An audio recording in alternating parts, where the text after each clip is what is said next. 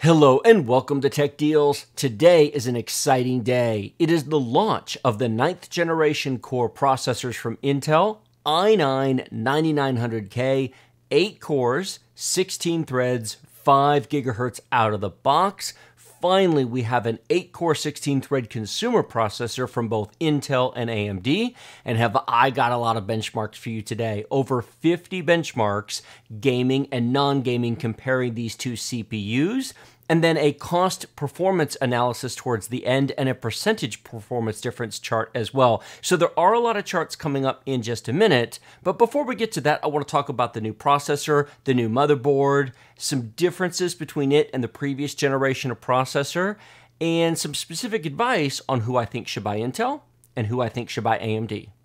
Linked in the video description below will be links to all of the products I'm going to talk about during this video. Those links go to Amazon and Newegg, and you can find both these processors and the motherboards as well as the graphics cards down there. If you find this video helpful and useful, please use those links when you shop. They're affiliate links. They support the channel at no extra cost to you, and I would greatly appreciate it.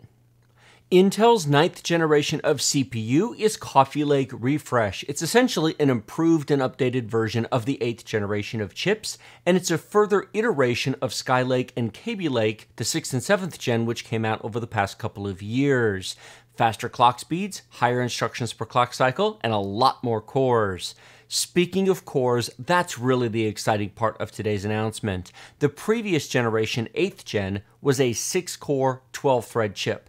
This is an 8 core, 16 thread chip. Think of it as an upgrade from a V6 to a V8. Not quite exactly the right analogy, but it's close. More performance in multi threaded applications, better performance in games, better performance when gaming and live streaming, better productivity performance, better multitasking performance, and room to grow for the future. Do you like to overclock? Do you want a cool and quiet running system? Soldered, integrated heat spreader all the new ninth generation chips are soldered, which is a vast improvement over the previous generation of chips. No longer any need to delid these chips, they run cool and quiet out of the box, or they overclock further than the previous generation does. Very nice Intel. Two more CPUs are launching today along with the i9, the i7 9700K and the i5 9600K. The i7 is 8 cores, but only 8 threads. They've disabled hyperthreading for the first time on an i7. It's also more expensive than the previous i7, which was 6 cores, but 12 threads. So you gain 2 cores, but you lose 4 threads. I'm not entirely sure that's the best strategy, but that's what Intel did. $400 for that CPU, about $120 less expensive than the i9. In my opinion, if you're going Intel and you're going high end, buy the high end chip. The i5, however, is an interesting processor, and I will be doing a review and a build on the i5 in the future as an update to the i3 8350K build that's already on my channel. If you play esports games rather than AAA games, if you're more of a casual gamer and you're looking for high per core performance, but you don't necessarily need 8 cores and 16 threads because you're not editing 4K video or doing 3D animation or playing Far Cry 5, then the i5 9600K may actually be a reasonable choice. Soldered, 5 gigahertz should not be a problem on that chip. I will, as I said, test that in a future video. That CPU is $270. It's a small price bump over the previous one, but being delidded, I think it's worth it over the i5 8600K. There is no Pentium or i3 CPU being launched at this time. There are also no non K chips being launched right now. Those will all launch in the spring, probably be announced at CES in January, and probably sometime in the spring we'll get those as well, in addition to some more motherboards. Right now, there's only one new motherboard launching. It's the Z390. It's a refresh of the Z370. Let me be clear if you don't currently have a 300 series board and you're buying one of these, buy a Z390, not a 370. Just it'll work out of the box. The price difference is minor. Get a Z390. However, the new ninth generation CPUs will work on the current 300 series boards Z370 H370, B360, and even H310, although I wouldn't install this on an H310. You could, but I wouldn't. So if you have an existing board, maybe you have an i5 8400 or i5 8600K and you want more cores and more threads for AAA games or content creation or just faster performance in general, yes, you can install this without having to replace your motherboard. Is it worth upgrading an older system to the new i9 9900K? Now, that question is going to get a dedicated video coming up very soon. In fact, it'll get two videos. I'll compare older Intel i7s to the new i9 and older AMD chips to the i9 as well, just to show you the difference in performance in games and non gaming programs alike. But in general, for now, here's my advice. If you are on fourth generation i7 or older, and you run current modern big budget AAA games, Assassin's Creed Odyssey, Battlefield 5, Call of Duty Black Ops 4, Far Cry 5, if you keep up with modern games, it's time to upgrade. 6th gen K chip or newer, maybe wait another year. But 4th gen DDR3 platforms, I do think it's time to upgrade. And certainly if you have something older like a 2600K or an i7 920, definitely upgrade. As far as the AMD chips, absolutely. The FX 8300 series was great in its day, but it is it is time to put that chip out to pasture and upgrade to something newer. Ryzen would be a dramatic performance improvement. This would be mind-blowing. But I'll do that in a dedicated video, AMD and Intel upgrading to the new chip very soon. Before we look at the benchmark charts, it's important that we have a conversation about price on these CPUs because they're both 8 core chips, they're both 16 thread chips, but they are definitely not the same price. I also want to talk to you about my test bench setup and how I benchmark these because that informs the charts you're going to see. Ryzen 7 2700X, $300, 4.3 gigahertz max turbo speed, 4 gigahertz max speed on all 8 cores i9 9900K, 5 gigahertz max turbo, 4.7 gigahertz max turbo on all the cores. There is a 700 megahertz out of the box clock speed difference between these two chips, all core boost and single core max turbo. However, not really. There's really a gigahertz difference, and the reason for that is this does not come with a cooler. You have to buy a cooler for the i9, and if you're spending $530 on the chip, you're probably buying a nice one, or you should be anyway. Turn on multi-core enhancement in any reasonable Z-series motherboard, and it will go straight to 5 GHz all-core boost without a problem. That is how all the tests you're about to see will run. I turned on multi-core enhancement. It's not an intense overclock, but all the tests you're about to see were with the i9 running at 5 GHz. The Ryzen 7 2700X was left at stock. And the reason for that is in any games, tests, and programs that do not use all the cores, the chip will turbo a little bit faster. It will do 4.2 to 4.3 if you're only using 1, 2, 3, or 4 cores. If you're using all 8, it drags down to 4 on the included cooler. So manually setting this to 4 gigahertz actually hurts performance. Ryzen, in general, especially second generation Ryzen, don't overclock it, don't mess with it, use it out of the box. The precision boost and the XFR auto overclocking work very well to get the most out of the chip that's possible. Intel, yeah, it should at least have multi core enhancement turned on. On the Intel i9, we have Noctua's NH-D15 very large tower cooler. This is a $90 cooler, but it provides spectacularly good cooling. 5 gigahertz was no problem for this cooler. It will go higher, but that'll have to wait for a future video. Many games were in the 50 degree temperature range with this cooler at 5 gigahertz on all 8 cores. That's pretty good. On the AMD side, I use the included Wraith Prism RGB cooler that comes with the 2700X.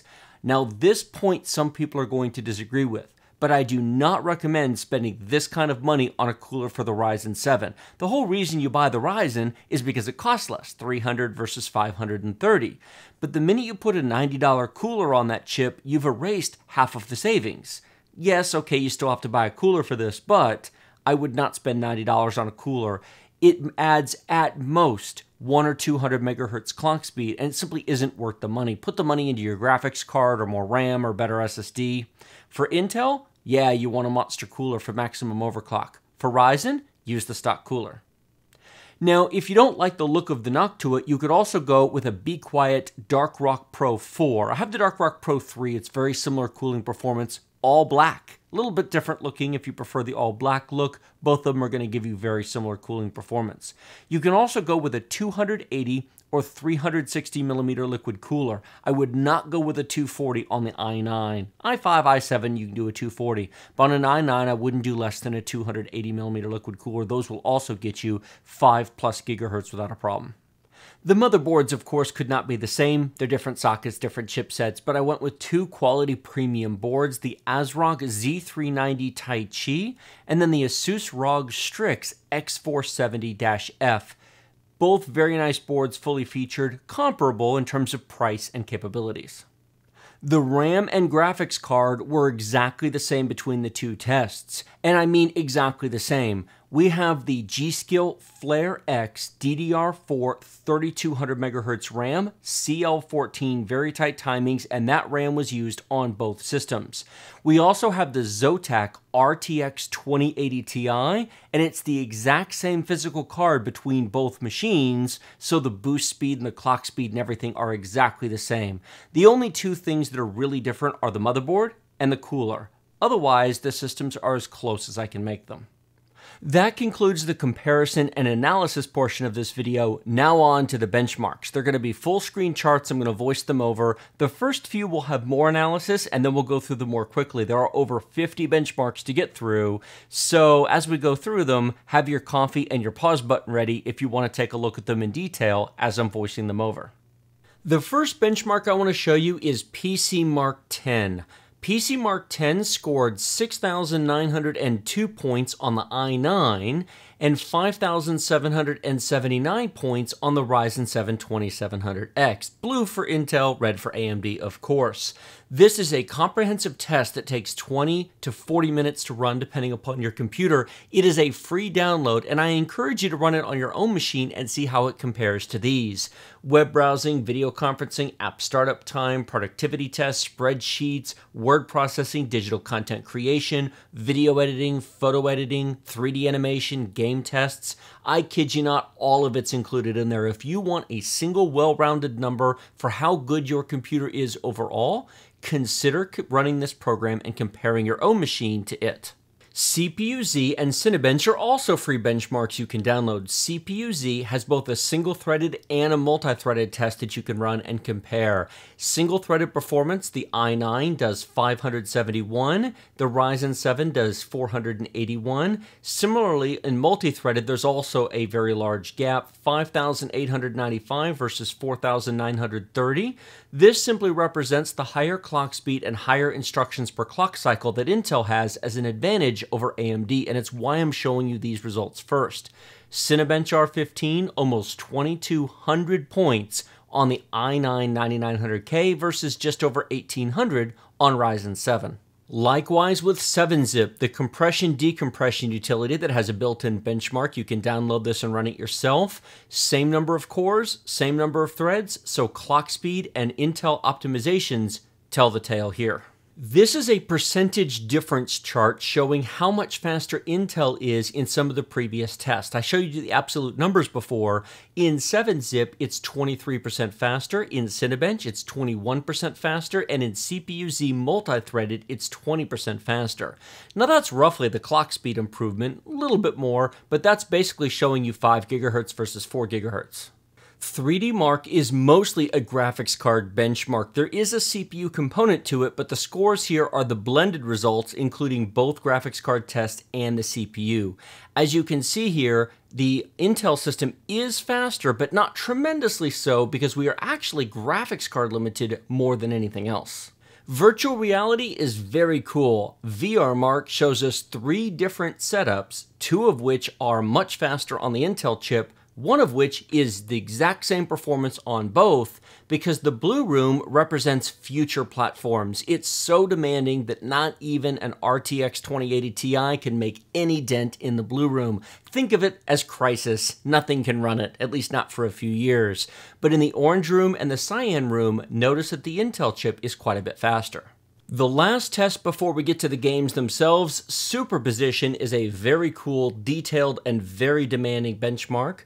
Notice at 1080p high detail, we are still mostly graphics card limited. The Intel chip is faster, but not noticeably so. This is a minor, minor difference here. At 4K, there's basically no difference at all because we are totally graphics card bound. And you're going to see this story throughout these benchmarks. 1080p shows a big difference, 4K, not so much. And that brings us to our first game benchmark, Assassin's Creed Odyssey. I tested at 1080p, 1440p, and 4K on all the games that I'm about to show you. I am not going to read every number off the screen or this video would be an hour long. I'm just going to call out a few key points and then we'll go through the games fairly quickly. The key thing to watch for is the difference between the resolutions and the average frame rate. 120 frames per second on Intel at 1080p versus 101 frames per second at 1080p high detail on the Ryzen 7 2700X. That's a 20% difference. That percentage difference narrows to about 10% at 1440p and only a couple of percent at 4K. The further up in resolution we go, the more graphics card bound that we're at. And we're using the fastest graphics card you can currently buy today, the fastest gaming card in any case. So if you play at 4K, then the new i9 may not make a big difference today. But something I want you to pay attention to as we go through these charts is that as faster graphics become available, the i9 has room to grow, whereas the current 1080p numbers are basically the best you're ever going to get out of Ryzen, as it is far less graphics card bound than the Intel chip is. F1 2017, take a look at those 1080p numbers. Intel crushes it. 284 frames per second versus 205. That's not even close. So the AMD chip is essentially limited in what it can provide the RX 2080 Ti at 1080p. However, moving to 4K, Notice they're essentially tied. Ryzen actually wins in the average, but loses in the minimum. They're very, very close because we're much more graphics card limited at 4K. There's still a healthy gap at 1440p. In fact, notice that the average frame rate on Ryzen is the same between 1080p and 1440p because the CPU has nothing left to give, but the Intel dropped because we are more graphics card limited. This just demonstrates that Ryzen is running as fast as it's ever going to run at 202 to 205 frames per second, no matter how much graphics card you give it. But it does mean, in theory, that if you gave Ryzen a faster graphics card at 4K, it would get up to about 200 frames per second. But that's all it's ever going to do because that's the limit of the chip. Far Cry 5 is a beautiful and very demanding game. Take a look at the 4K results down at the bottom first. Notice that Intel and Ryzen are basically tied. 81 to 79 is effectively a tie because we are completely graphics card limited. The RTX 2080 Ti is preventing any further performance. Take a look at the 1080p numbers. 167 versus 114.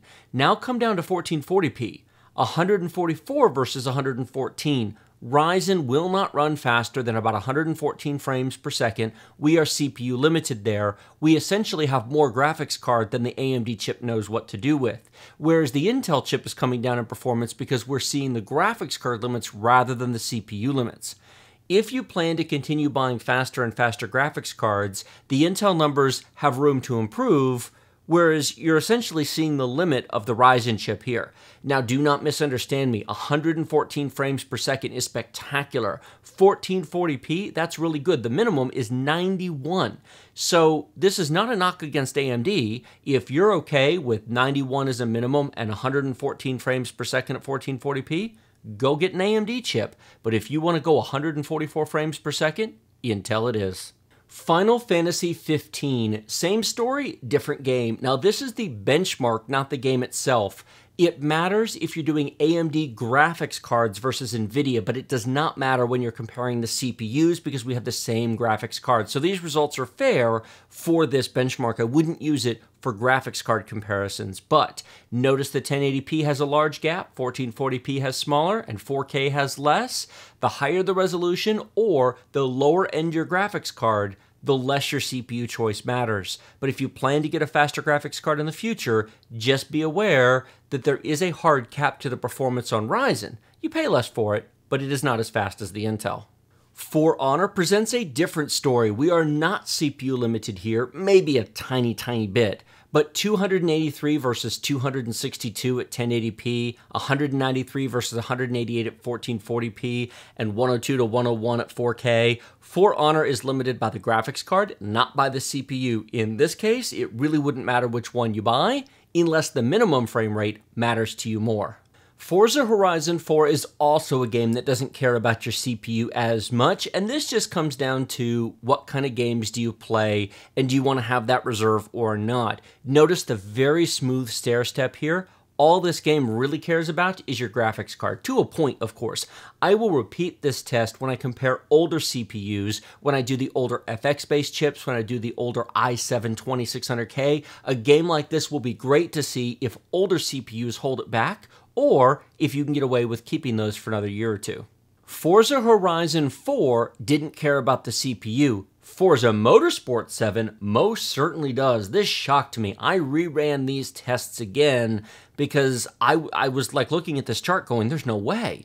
Yep, 133 frames per second, 135 and 134 in Ryzen is all you're getting.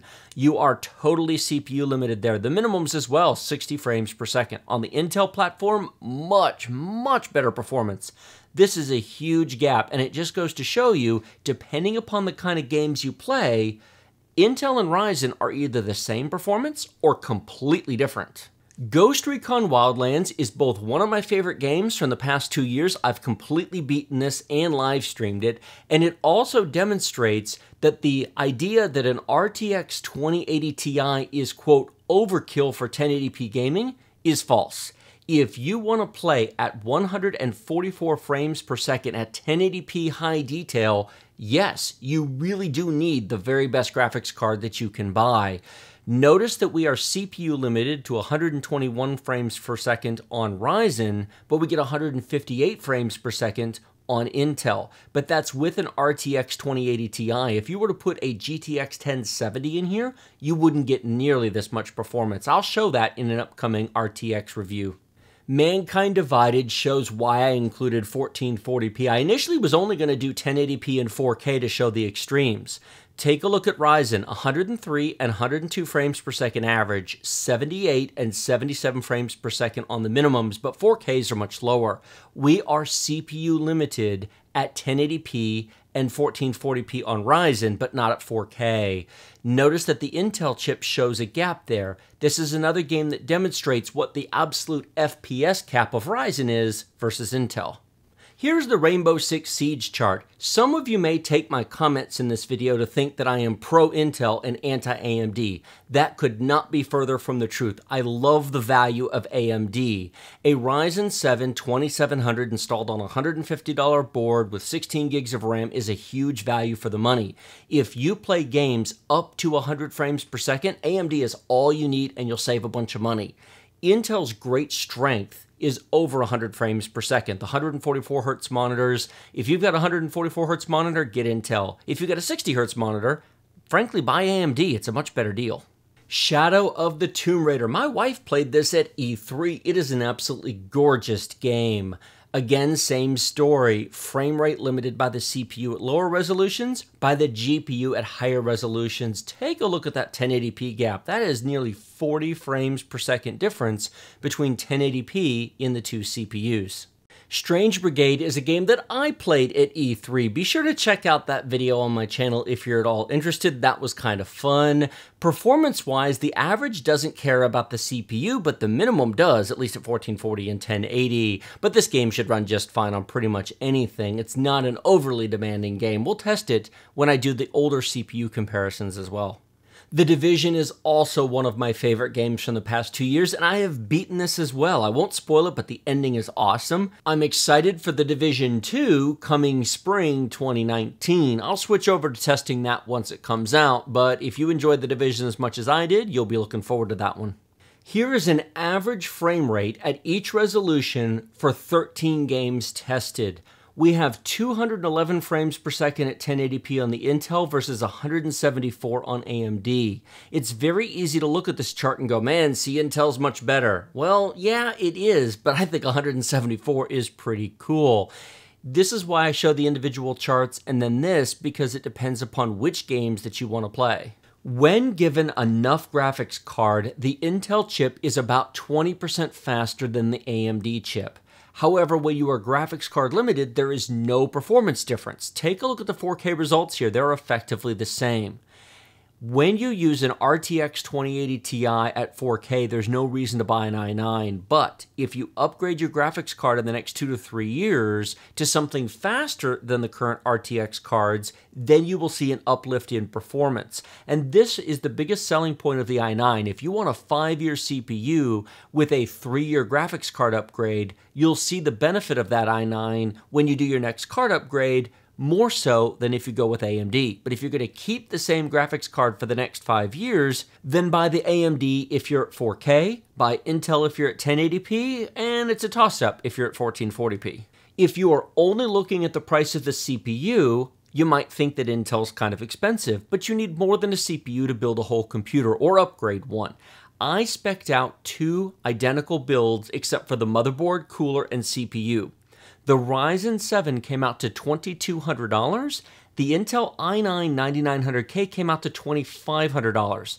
There is a 14% price difference between these two builds. 16 gigs of RAM, RTX 2080 Ti, a premium $200 board for each build, NVMe SSD, the Noctua NH-D15 $90 Ultra Tower cooler on Intel, included Wraith Prism on AMD, 14% price difference for a 21% performance difference. I don't know about you, but that strikes me as a pretty good deal. If your total PC budget is $2,000 or more, I think the i9 is worth it. I think it's worth it now. I think it's worth it in the future. I think you'll grow with that CPU. On the other hand, if you're under the $2,000 price point, if you want to do a $1,000, $1,200, $1,500 build, Ryzen makes much more sense. You get more for your money there at the lower price points. I did a build on my channel recently, $900 for a Ryzen 7 1700, a GTX 1060. It's a great value machine, but it will not be playing Ghost Recon Wildlands at 4K anytime soon, whereas either of these machines most certainly can. But if you're going to spend 2,200 on Ryzen, 2500 on Intel for a 20% faster CPU? That's a deal. Thank you all so much for watching this detailed look at the new i9 9900K. This video took me a week to make. It was a lot of testing. Linked in the video description below, everything you see here, those are affiliate links. They support the channel. If you can use those while shopping, I would greatly appreciate it. You will also find links to the Tech Deals Discord, my Twitter, Twitch, and Floatplane. If you want to support the channel, one option is to sign up for Floatplane and get early access to videos. Not this one because it was embargoed, NDA release, but most videos get a week early access over on Floatplane, the website run by Linus Media Group. $3 per month no YouTube ads, early access, higher quality video, downloadable video, a exclusive comment section, and coming soon live streams and Discord integration as well. If you want to support the Tech Deals channel, I would certainly appreciate it. Click that link below and go check it out. Thank you all so much for watching. Like this video if you like it. Share it with your friends if you loved it. Remember to subscribe to my channel with that big, huge red button directly below. Hit the bell notification icon to be notified when new videos come out comments in the comment section below. Let me know what you think of this. What do you have? What are your thoughts? What are your opinions? Did you like it? Did you not like it? And then, of course, as always, yeah, the links down below. Thank you so much for watching. I will see all of you next time.